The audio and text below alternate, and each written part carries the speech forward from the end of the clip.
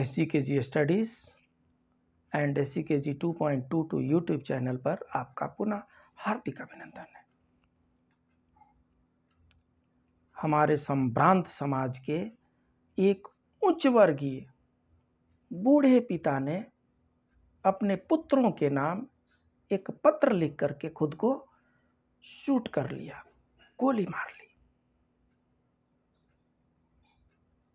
जी हाँ ये एक कारुणिक गाथा है। हम सब की हमारे अपने बीच के, हमारे समाज की। पिता ने चिट्ठी क्यों लिखी? पिता ने चिट्ठी में क्या लिखी? और उसको लिखने के बाद से अपने आप को शूट क्यों कर लिया? अपने आप को गोली क्यों मार ली? ये जानने से पहले उनकी पृष्ठभूमि जान लेना थोड़ा सा आवश्यक है। और पृष्ठभूमि ये है कि पिता जो हैं, सेना में कर्नल पद से रिटायर्ड हुए हैं। आर्मी में मेजर के बाद लेफ्टिनेंट कर्नल होता है, लेफ्टिनेंट करने के बाद से कर्नल होते हैं। कर्नल एक बहुत ही प्रेस्टिजियस पोस्ट होता है और पिता कर्नल पोस्ट से रिटायर होते हैं। रिटायर होने के बाद से शहर के पौश कॉलोनी में अपनी धर्म पत्नी के साथ रहने लगते हैं। उनके दो होनहार बच्चे हैं। और ये दोनों बच्चे सुदूर अमेरिका में रहते हैं। होता ये है फौज में, लगभग मैंने एयरफोर्स में ऐसा देखा है, कि बच्चे लगभग दो तरीके के होते हैं। एयरफोर्स की पृष्ठभूमि से मैं बता रहा हूँ। एयरफोर्स में जितने लोग सर्विस करते हैं, उनके बच्चे लगभग दो तरह के होते हैं। एक सक्सेसफुल बच्चे होते हैं। अपने माता पिता के एक सक्सेसफुल बच्चे वो होते हैं, जो ट्वेल्थ पास होते ही एनडीए पास कर गए। या सीडीएस पास कर गए और फौज में ऑफिसर बन गए। आर्मी नेवी एयरफोर्स किसी में भी ऑफिसर बन गए और उनके फात माता पिता सब जगह कहते फिरेंगे, मेरा मेरा बेटा जो अफसर बन गया, मेरा बेटा जो है फ्लाइंग ऑफिसर है फ़्लाइट लेफ्टिनेंट है स्क्वाडन लीडर है विंग कमांडर है ग्रुप कैप्टन है एयर कमांडर कहना शुरू कर दिए प्रशंसा की गाथाएँ शुरू। अपने आप को गर्वान्वित महसूस करते हैं, अपने बच्चे के साथ फ़ोटो खिंचवा करके। हो भी क्यों नहीं? बेटा कमीशन ऑफिसर जो बना है। तो ये सक्सेसफुल बच्चों के बाप के कैटेगरी में आते हैं। एक दूसरी कैटेगरी है, जिनके बच्चे एनडीए, सीडीएस पास करके और एयरफोर्स में, आर्मी ने में, एयर, नेवी में ऑफिसर नहीं बन पाते हैं, वो अनसक्सेसफुल कैटेगरी में चले जाते हैं। और जो अनसक्सेसफुल कैटेगरी में जो बच्चे जाते हैं, मैंने एयरफोर्स में देखा है, उनके बच्चे आने वाले समय में America, Canada, Australia, UK, Germany, Japan इन सब देशों में किसी हाई फाई पोस्ट पे चले जाते हैं। देखने का नज़रिया अलग है। कहना, अब अब यहाँ पर कहना बहुत मुश्किल है कि कौन सफल है और कौन सफल नहीं है। कौन कम सफल है, कौन ज़्यादा सफल है, कहना मुश्किल है। लेकिन उस समय लगता है। बच्चे जल्दी नौकरी पा जाते हैं कमीशन ऑफिसर हो जाते हैं तो सक्सेस ज़्यादा नज़दीक दिखती है। लगभग देश में रहते हैं। तो ये जो अनसक्सेसफुल बच्चे हैं, ये किसी आईटी कंपनी में, किसी बड़े बड़े कंपनी में, कई प्रकार के जॉब में ये USA Canada Germany U UK Australia Japan इन सब में सेटल हो जाते हैं। कुछ तो वहीं पे मैरिज करके सेटल हो जाते हैं। कुछ वहाँ पर पढ़ने के लिए जाते हैं जॉब मिल जाती है मैरिज करके सेटल हो जाते हैं। ये जो कर्नल साहब हैं, इनके जो दो बच्चे हैं ये सुदूर अमेरिका में जॉब करते हैं और वहीं पे अपने अपने पत्नी अपने परिवार के साथ सेटल्ड हो गए हैं। यहाँ यह बताना आवश्यक नहीं है कि माता पिता ने अपने लाडलों को पालने में कोई कोर कसर नहीं रखी होगी। माता पिता के प्रेरणा से बच्चे सफलता की सीढ़ियाँ चढ़ते गए। पढ़ लिख करके इतने योग्य हो गए कि दुनिया की सबसे नामी गिनामी कॉरपोरेट कंपनी में नौकरी मिल गई। संयोग से दोनों भाई, एक ही देश, लेकिन अलग अलग अपने परिवार के साथ अमेरिका में रहने लगे। कर्नल साहब रिटायर हो चुके हैं, अपनी पत्नी के साथ रह रहे हैं, बूढ़े हो चुके हैं। एक दिन अचानक पिता ने, पिता मीन्स कर्नल साहब ने, एक दिन अचानक पिता ने रुआ से गले से बेटों को खबर दी। बेटे, तुम्हारी माँ अब इस दुनिया में नहीं रही।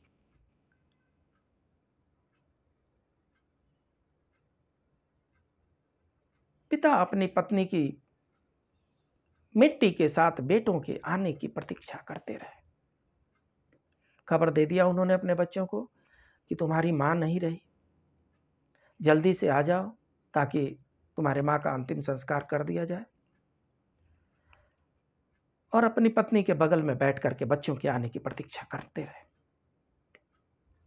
एक दिन बाद छोटा बेटा आया,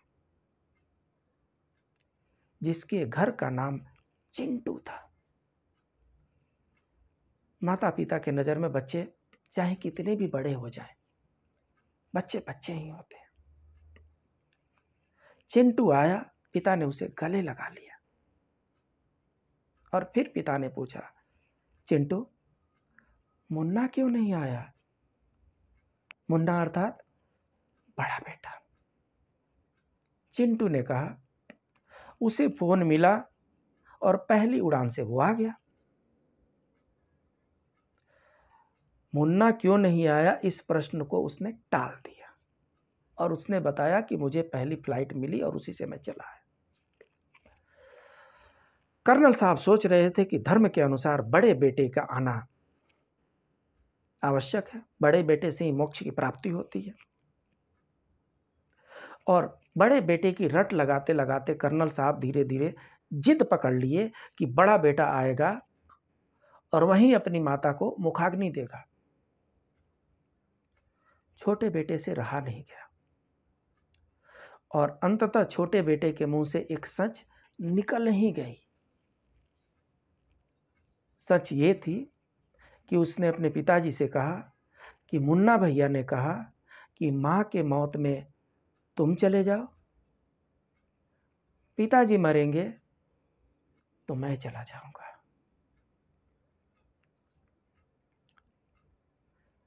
यह बात सुनकर के बूढ़े बाप, यह बात सुनकर के बूढ़े पिताजी हक्के बक्के रह गए। यह बात सुनकर के उनको सदमा सा लग गया। ये बात सुने शांत हो गए।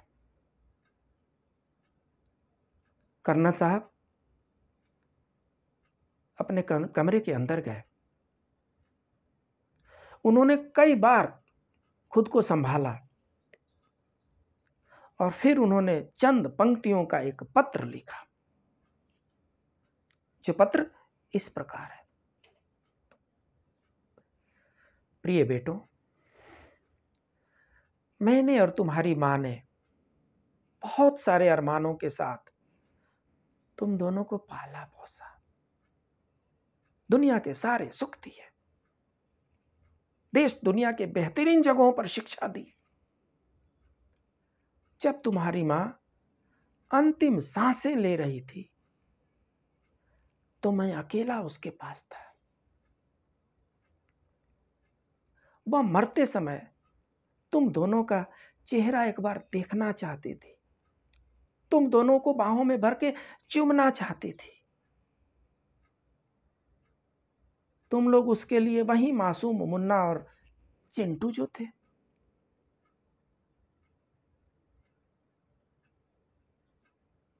वो इंतज़ार करती रही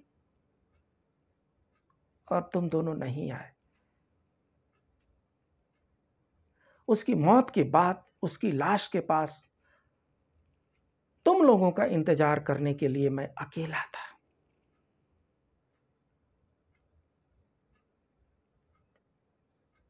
मेरा मन कर रहा था कि काश तुम लोग भी मेरे साथ होते और मुझे ढांढस बनाने, बनाते।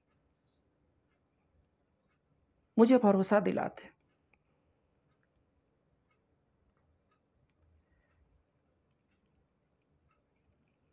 तुम्हारी मम्मी की मौत के बाद तो मैं वहाँ पर पड़ा हुआ था। मैं उसके साथ था। मेरे मौत के बाद शायद मेरी लाश के पास तुम लोगों का इंतज़ार करने के लिए कोई नहीं होगा। मम्मी तो चली गई। मैं अकेला रह जाऊँगा। और जब मैं मरूँगा तो शायद मेरी लाश के पास तुम लोगों के इंतज़ार करने के लिए कोई नहीं होगा। सबसे बड़ी बात यह है कि मैं नहीं चाहता कि मेरी लाश निपटाने के लिए तुम्हारे बड़े भाई को यहाँ पर आना पड़े। इसलिए सबसे अच्छा यह होगा कि जब छोटा आ ही गया है तो अपनी माँ के साथ मुझे भी निपटा करके ही जाए। मुझे जीने का कोई अधिकार नहीं है। कोई अधिकार नहीं है मुझे जीने का, क्योंकि जिस समाज ने मुझे जीवन भर धन के साथ सम्मान भी दिया।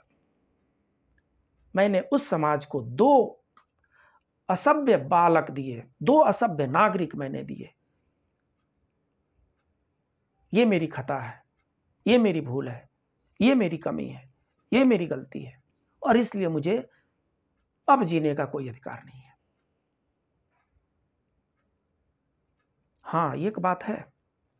अच्छा हुआ कि अमेरिका जाकर के हम नहीं बसे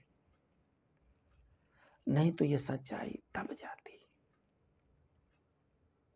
मेरी अंतिम इच्छा है कि मेरे मेडल तथा फ़ोटो मेरे बटालियन को लौटा दिए जाए तथा घर के सारे पैसे मेरे नौकरों के बीच में बांट दिए जाए।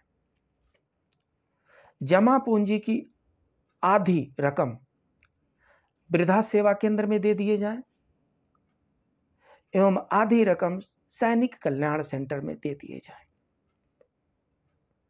तुम्हारा पिता। चिट्ठी समाप्त। कमरे से ठाए की आवाज़ आई।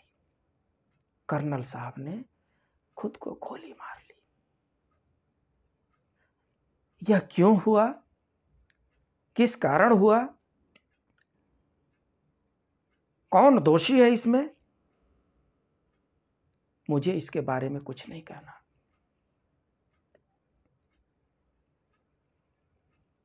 ये घटना समाज के बुद्धिजीवियों के लिए हम छोड़ते हैं। समाज के बुद्धिजीवी इस घटना पर चिंतन करें और इसका सॉल्यूशन ढूंढें। जय श्री राम।